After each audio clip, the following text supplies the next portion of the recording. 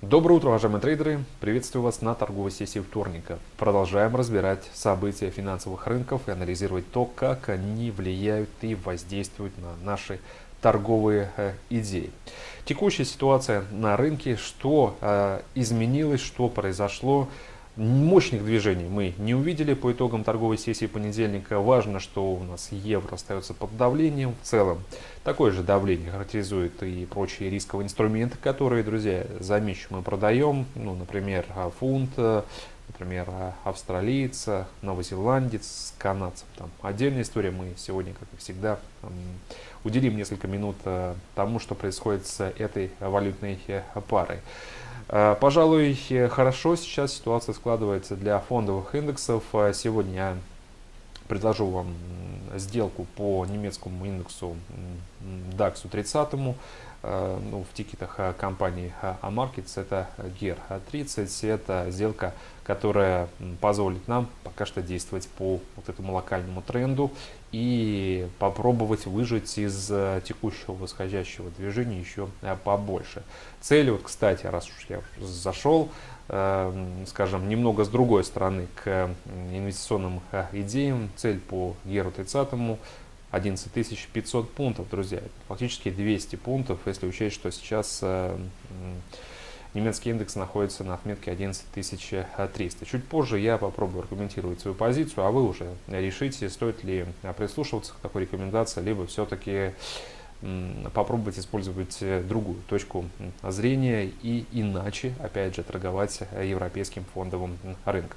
Давайте, друзья, поговорим о повестке текущего торгового дня. День обещает быть поинтереснее, чем вчерашний.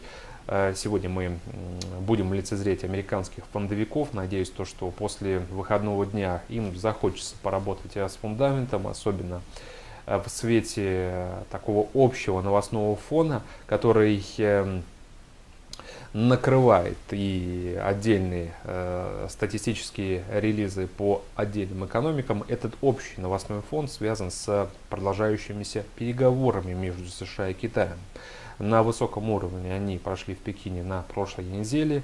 А, с делегацией американских чиновников а, встречался председатель, собственно, Китая. Сейчас немного ролями поменялись. Э, делегация Китая прибыла, собственно, в США и проведет встречу, в том числе и с Трампом. Сегодня стартуют, друзья, эти переговоры, но на более-менее высоком уровне, с подключением самых интересных э, персонажей и, как следствие, с возможностью получить интересные комментарии, это уже конец недели. То есть нам придется ждать, как это э, было и в ходе прошлой э, пятидневки, вот торговые сессии четверга и пятницы. Но ничего, друзья, подождем, мы это умеем делать, тем более, что наши торговые позиции, наши сделки, они предполагают э, именно долгосрочную отработку. К повестке сегодняшнего э, календаря в 12.30 рынок труда Англии. Мы уже не раз убедились в том, что статистика оказывает очень серьезное сейчас влияние на фунт. Пришли к выводу об этом только лишь потому, что все устали от э, политического фона касательно Брекзита, потому что ничего нового, все обсуждают одно и то же и надоело уже. Хочется сейчас э, поработать с другим фундаментом. Статистика позволяет э, трейдерам, честно говоря, друзья, трейдерам, которые больше спекулируют на коротких дистанциях, зацепиться за перспективу изменения процентных э, ставок. Если вы все-таки долгосрочно ориентированный трейдер, вам за этот фонд цепляться не нужно, потому что он не э, будет влиять на долгосрочные Э, ожидания по британцу. И в конце концов, что произойдет с процентными ставками, будет зависеть не от статистики, а от того, на каких условиях Англия выйдет из состава Европейского Союза. То есть вам, в принципе, можно ждать э, каких-то подробностей по Брекзиту и не торопиться в плане какой-то неоправданной активности, не предпринимать э, никаких-то обдум, необдуманных, точнее, торговых решений. Я по фунту держу вас в курсе, друзья. Сегодня, кстати, будет сделка. Э, и надеюсь, то, что она э, снова сможет принести нам профит, как это было с прежней короткой позиции. В 13.00 статистика по бизнес-оптимизму ЗИЮ. Я жду еще одну порцию негатива европейского. Э, иного и э, быть не может, друзья, потому что последние отчеты, которые мы видели, указали на серьезный провал промсектора немецкой экономики, Германии, ведущего локомотива валютного блока и, как следствие, указали на проблемы для всей еврозоны. Конечно же, на фоне падения инвестиций, на фоне резкого снижения Э, производственных э, заказов на фоне низкого э, внутреннего спроса, потребительского спроса, как бизнесмены могут с оптимизмом откликаться, опять же, на текущую текущее состояние экономической конъюнктуры и также с оптимизмом смотреть в будущее. Я думаю, что нас сегодня Э, порадует как продавцов э, евро статистика от ЗЮ. Завтра мы о ней э, поговорим, но заранее готовлю вас к плохим релизам. 18.00 выступление Питера Прата, это главный экономист Европейского центрального банка.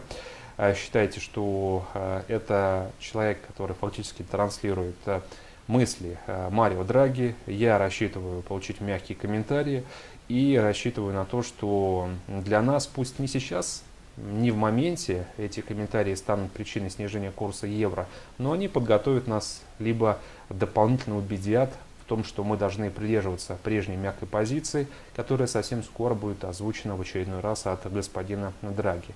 Ну и еще, друзья, один релиз, он уже, правда, в переходе с вторника на среду. Это отчет по Новой Зеландии, по новозеландскому доллару, индекс цен производителей, важные компоненты инфляции. Я ожидаю снижения этого индекса, ожидаю то, что параллельно с этим будут пересмотрены прогнозы по общему показателю инфляции, и это должно привести к снижению курса новозеландца.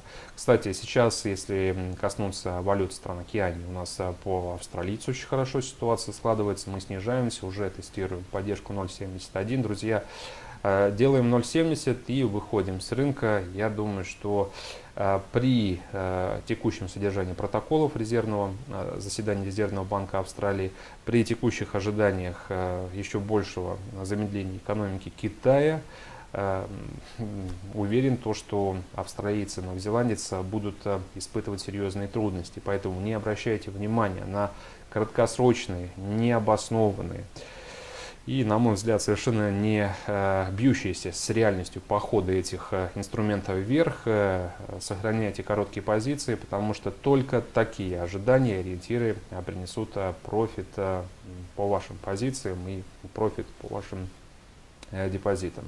Ну а теперь давайте подробнее поговорим. Нефтянка нас также радует. Мы пока что сторонние наблюдатели, но, друзья, я вчера говорил, что те, кто хочет, собственно, еще а, поспекулировать э, нефтью, но не решается зайти большим объемом, ничего, это нормальная позиция, когда фон не такой уж и однозначный.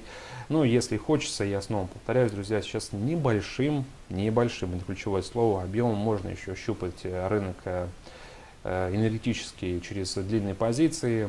По бренду у нас сейчас котировки 66.20. Я думаю, что можно поставить цель там, в районе 69-70 долларов за баррель. Не факт, что мы до туда доберемся, но э, какой-то потенциал роста еще будет э, отработан. А работаем мы с прежним фундаментом, он не изменился. Участники рынка сейчас отыгрывают признаки сокращения мирового предложения. Участники рынка вдохновлены новостным, новостным фоном, который э, касается переговоров между США и Китаем.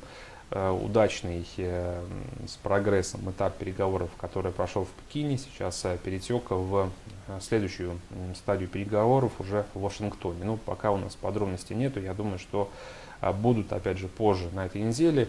Как и недели и две назад, работаем по классической сейчас рыночной тактике, покупаем на ожиданиях, продаем на а, фактах. Ну, про продажи пока давайте не будем, с ними не будем торопиться.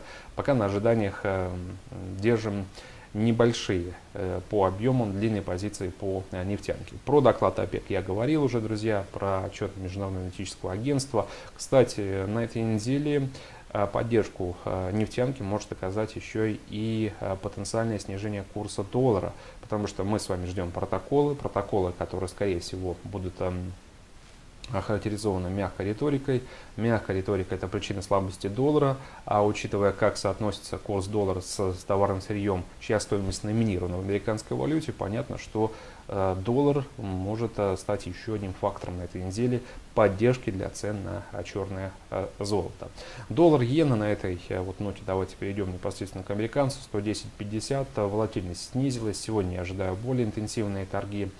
А в конце концов, э, где мы окажемся а, по паре доллар-иена к концу недели будет зависеть от того, в каком э, русле пройдут переговоры, будут ли подробности а, по тому, что удалось обсудить, э, почему удалось найти компромисс, а почему нет, будут ли причины говорить о сохраняющихся разногласиях и в качестве прям супер негативного сценария будет ли у нас основание говорить о том, что эти самые разногласия настолько еще значительны, что до конца февраля а, страны так и не смогут а, прийти к какому-то общему консенсусу и подписать торговое соглашение. Друзья, ну совершенно разные сценарии того, что будет дальше. Я сейчас предлагаю все-таки признать тот факт, что позитив для доллара может прийти, если США и Китай каким-то Э, образом э, все же примут важное решение к концу этой недели, но это гипотетические лишь ожидания. Это конец недели, у нас более раннее событие, это протокол американского регулятора, и они реально могут э, внести серьезный вклад в динамику доллара. Как я уже отметил, обрисовывая перспективы нефтянки, мы с вами уже не раз убедились в этом году, что для Федрезерва теперь позиция Э, более приемлема эта позиция низких темпов э, роста процентных ставок. Поэтому сегодняшние протоколы могут еще раз э, напомнить рынку, почему Федрезерв занял такую позицию и какого мнения голосующие члены американского регулятора относительно дальнейшей, дальнейших темпов нормализации денежно-кредитной политики. В общем, мягкая риторика сегодня, друзья, точнее в среду, это причина по которой я уверен, доллар у нас окажется в аутсайдерах и будем ждать пару все-таки ниже 110. Э, я имею в виду э, пару доллар-иена. Фунт против доллара 1.29. Эм, это актуальные котировки. Сделку предлагаю со стоп-сором 1.2870. Э, политическая картина не то чтобы меняется, есть определенные, опять же, изменения. Э, в частности, мы давно не говорили про партию либористов, э, которую возглавляет, собственно, Джереми Корбин. Вы помните, такой рьяный оппонент Тереза Мэй. В данном случае назрел раскол, собственно, и в этой партии. Семь членов парламента образовали такую независимую группу, якобы демонстрируя явный протест против а, позиции Джереми Корбина.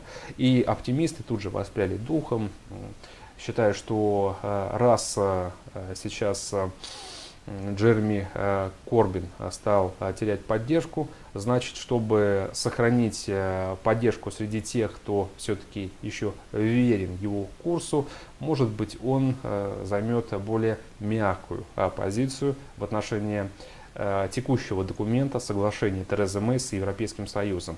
И ну, таким образом может создаться, а, опять же, прецедент вынужденный, из-за которого э, часть, большая часть уже парламента может на следующем голосовании отдать э, Э, свой голос за поддержку этого документа и тем самым повысить вероятность все-таки мягкого Брекзита.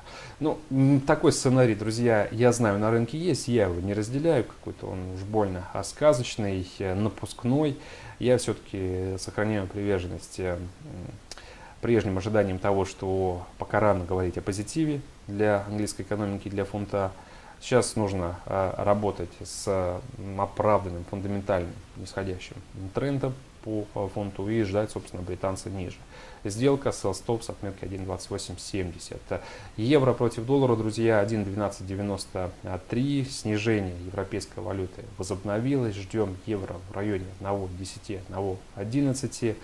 Э, причины, из-за которых евро мы продаем, я думаю, что вам очевидны. В эту пятницу мы получим еще один важный релиз по индексу потребительских цен еврозоны. Уверен, что статистика снова разочарует.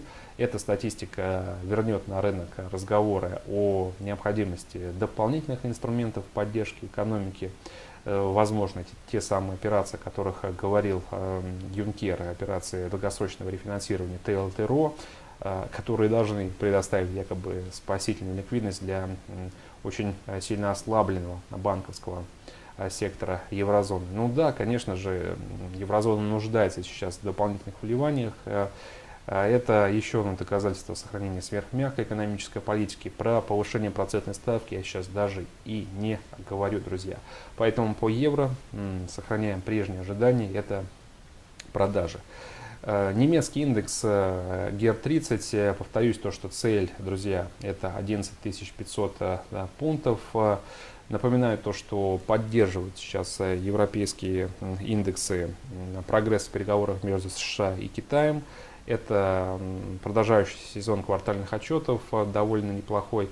И все-таки признаки того, что Европейский центральный э, банк э, сохранит свою приверженность мягкой экономической политике. А ветра здесь дуют как раз со стороны отдельных заявлений того же самого Юнкера и прочих представителей, скажем так, Европейского центрального банка европейских денежных властей, вот так вот будет а, правильней, о том, что и вот эти операции ТЛТРО и сохранение низких процентных а, ставок, это то, что сохранит свою значимости на текущем этапе, потому что это необходимо. Для европейской валюты, как я уже отметил, такой фон – это негативный момент, э, хорошая база для снижения курса евровалюты. Но вы прекрасно понимаете, что при снижении курса евро валюты очень неплохо выигрывают э, фондовые э, площадки. Вот эта логика справедлива сейчас и для немецкого в том числе индекса, поэтому рассматриваю его с точки зрения покупок. По австралийцу, друзья, сегодня протоколы, в принципе, по содержанию точно такие же, как мы ожидали. Мягкие было выражено очень много беспокойства по текущему состоянию экономического роста, ситуации на рынке труда и э, ситуации с показателем инфляции. И также было очень много сказано про перспективы еще большего спада э, экономического восстановления, спада экономики Китая. Как вы понимаете, Австралия очень уязвима перед подобного рода Э, риском. Поэтому оправданно австралийцы у нас сегодня снижается, ждем его в районе 0,70. Друзья, на этом, собственно, все. Большое всем спасибо за внимание. Хорошей вам, удачной, прибыльной торговой сессии. Увидимся завтра. Всего доброго, до свидания.